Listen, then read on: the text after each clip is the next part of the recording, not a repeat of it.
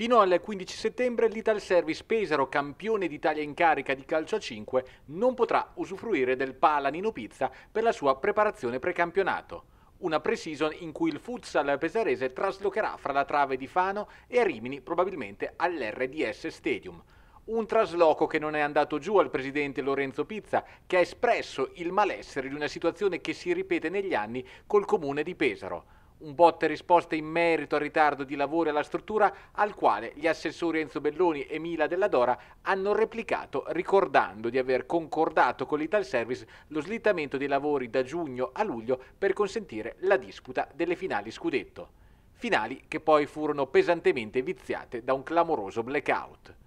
Il Comune ha ribadito l'investimento di 140.000 euro per l'adeguamento di illuminazione e prove di carico nel padiglione D di Campanara, ma altrettanto sollecitato una più corretta collaborazione fra le parti.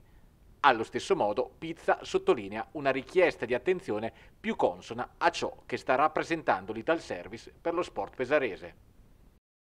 A noi più che altro eh, dispiace il fatto che comunque eh, è dal 2016, dall'anno 2016, da quando io sono diventato presidente, ho preso la squadra in Serie 2,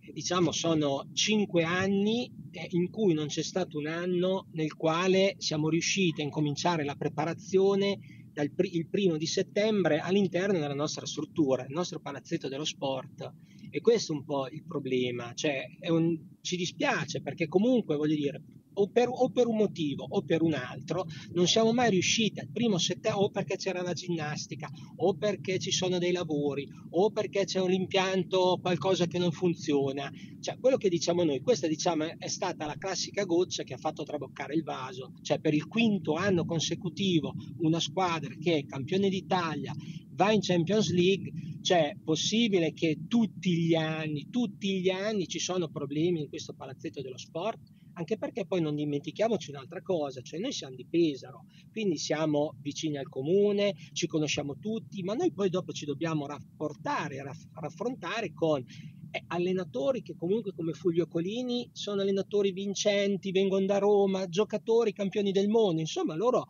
comunque questo ce lo contestano, il fatto di non poter mai incominciare una preparazione idonea, adeguata e precisa e puntuale nel nostro palazzetto dello sport un anno facciamo, lo facciamo passare, soprassediamo, un altro anno ci mettiamo d'accordo, l'anno dopo uguale, dopo il quinto anno consecutivo, no, cioè,